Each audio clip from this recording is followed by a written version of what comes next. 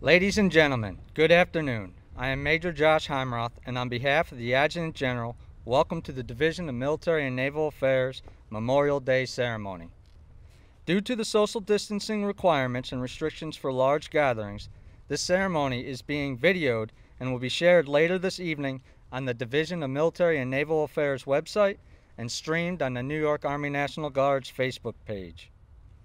We begin by supporting the National Moment of Remembrance encouraging all in attendance to now pause for a minute of silence.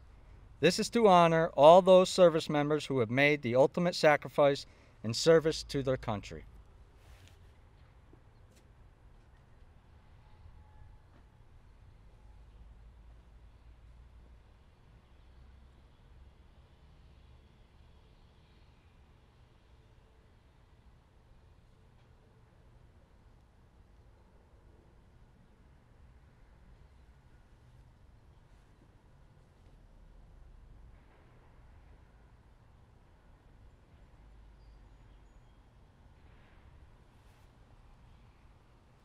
Our national anthem will now be sung by Sergeant First Class Brooke Albert, followed by the invocation that will be delivered by Chaplain Scott Eller. As an outdoor ceremony, military personnel in uniform will render honors. Oh, say, can you see by the dawn's early light what so proudly at the twilight's last gleaming, whose broad stripes and bright stars through the perilous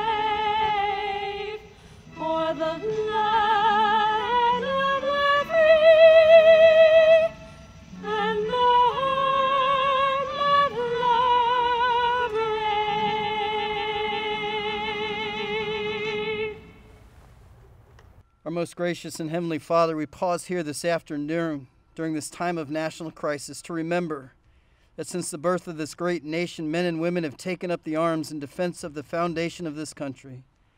That we are all created equal, that we are endowed by our Creator with certain unalienable rights that include life, liberty, and the pursuit of happiness. And in defense of those rights, many have died protecting them. And for that, we are here today to pay our most profound and humble respect. And as we gather and hear the names of those who have passed away in service to our great nation, we grieve our loss and their sacrifice. And we pray your blessing on all of those that feel this pr- profound loss. We can never honor them enough. And we ask your blessing on this memorial ceremony and pray that we can do honor to their legacy. Amen.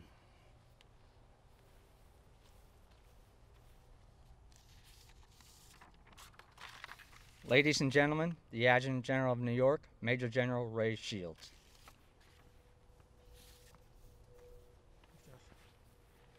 So, good afternoon, everyone, and welcome to our annual Memorial Day ceremony at the Division of Military and Naval Affairs, the headquarters for the New York Army, Air National Guard, the Naval Militia, and the New York Guard. This is definitely an unusual Memorial Day, one that we will not soon forget. Normally, our annual remembrance of our men and women who gave their lives for our nation is an all hands a deck affair. Today, May 22nd, 2020, there are only a handful of us here to pay tribute to our fallen service members. The coronavirus crisis and the requirements for social distancing and small gatherings means today's remembrance is by video only. We cannot have our usual large crowd in attendance to pay their respect to our fallen service members. Most will have to watch on their computer or smartphone later. However, we cannot forget what Memorial Day stands for. Since 1868, the United States has honored its fallen military service members, first known as Decoration Day and now as Memorial Day. It is a chance for us to spend a moment to remember those who lost their lives in military service to our nation. Therefore, it is fitting that we conduct a ceremony with, with leaders to mark Memorial Day on behalf of our entire New York National Guard and our state's military forces. And this year will certainly be an unusual Memorial Day weekend. There will be no parades except for maybe a couple vehicle parades. There'll be no gatherings at cemeteries. There'll be no big picnics, concerts, and amusement parks and campgrounds statewide remain closed. Much of what we associate with Memorial Day weekend will not happen. However, what does continue is our sense of duty and mission accomplishment. This Memorial Day weekend, we still have over 3,500 men and women on duty helping our fellow New Yorkers deal with the COVID pandemic across our state. Even with the COVID 19 crisis, we felt it incredibly important to mark this holiday and remember those who have made the ultimate sacrifice while serving for our state and nation. Members of the New York Guard, the New York National Guard, are no strangers to the ultimate sacrifice. This year marks the 75th anniversary of the end of World War II, and many members of the New York National Guard made the ultimate sacrifice in that great war. 75 years ago, soldiers of the 27th Division were getting ready to attack the island of Okinawa. They would fight for that island for almost two weeks. In Europe, soldiers of the 258 Field Artillery and the 101st Cavalry were settling into occupied Germany after battling their way across Europe. As the war was closing, the 101st Cavalry had the honor of capturing the Japanese ambassador to Germany, as well as German Field Marshal Albert Kesselring. This year, Thankfully, we have no new battle casualties to honor, although we do remember the seven members of our New York Air National Guard and 32 members of the New York Army National Guard who have given their lives in combat since September 11, 2001. We will also remember six members of our forces who have passed away since last Memorial Day. They all left our ranks too early. I encourage everyone to take a minute and remember those who have died in service to our nation on Monday. Perhaps in an odd way, with everything closed on Monday, it will give us more time to reflect on the sacrifices made by so many to defend our country. I wish everyone a safe and enjoyable Memorial Day weekend. Stay safe and healthy, and thank you for our service to our state and nation.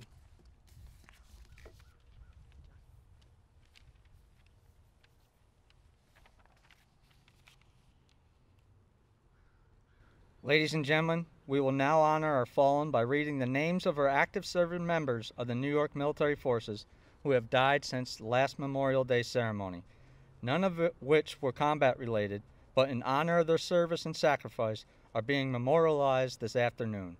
We will then follow with the benediction, laying of the memorial wreath, and playing of taps. Please render honors during taps played by Specialist Taylor Cross. Senior Airman Ala V. Ashiva, assigned to the 109th Airlift Wing, New York Air National Guard, hometown, Brooklyn, New York. Specialist Israel Benitez, assigned to the 1156 Engineer Company, New York Army National Guard, hometown, Newburgh, New York. Senior Airman Julian T. Burgess, assigned to the 174th Attack Wing, New York Air National Guard, hometown, Rochester, New York. Staff Sergeant George A. Gertler, assigned to the 109th Airlift Wing, New York Air National Guard, hometown, Scotia, New York.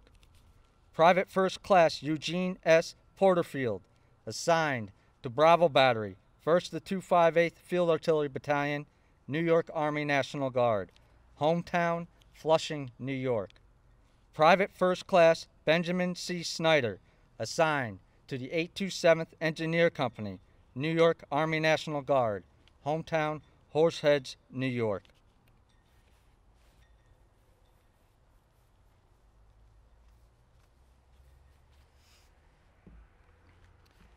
Heavenly Father, as we depart from this place with the names of those who, in service to this great state and nation, engraved on our hearts, may we never forget them.